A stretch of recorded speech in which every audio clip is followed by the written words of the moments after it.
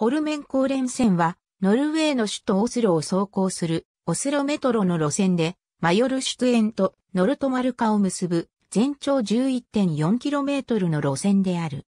オスロメトロ1号線として営業しているが、利用客数は、オスロメトロの中で最も少なく、踏切は1箇所のみで、プラットフォームも短い。沿線には、戸建て住宅が立ち並ぶ、住宅地が広がり、その後のルトマルカのレクリエーション地域へと向かう。ホルメンコーレニ駅は、ノルディックスキーの国際大会である、ホルメンコーレンスキー大会が開催される、ホルメンコーレンジャンプ競技場に隣接している。オスロメトロの中でも最古級の路線で、1898年にホルメンコールバネン社が軽便鉄道を開業したことに始まる。当初はマヨルシュトゥエン駅からベッセルート駅までの 6.2km を結んでいたが、1916年にトリバンまで延伸された。この時はトリバンより 1.24km は貨物専用線であった。